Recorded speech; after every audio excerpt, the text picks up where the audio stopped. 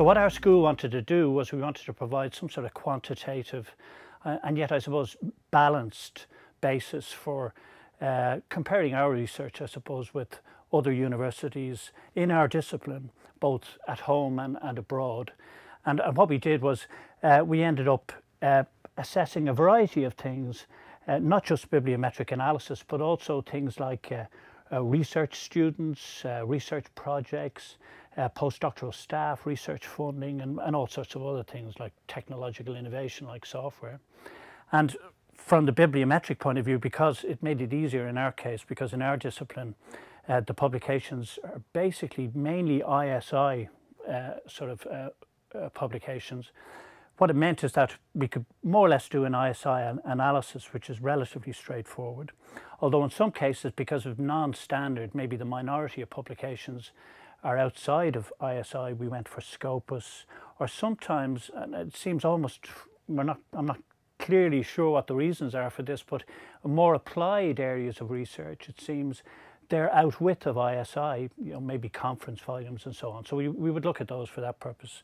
And then having basically sort of done that, our basic analysis is we'd sort of assess the numbers of publications and the citations of publications for each member of staff.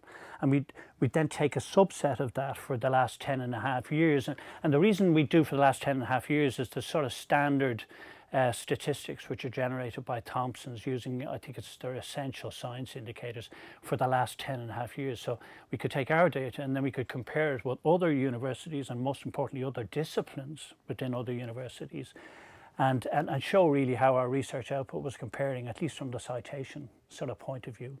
Um, and to allow us to be able to compare properly, of course, we had to normalize things because we're a small department and there's no way that our citations in total would compare with those of a very large department. So it was normalized by staff number.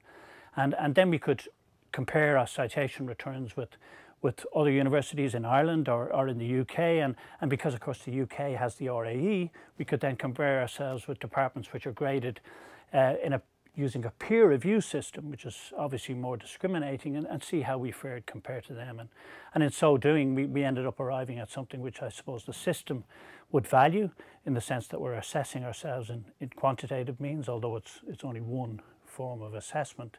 And um, it could be used then as a complement with other indicators uh, just to show that we're, we're doing a good job.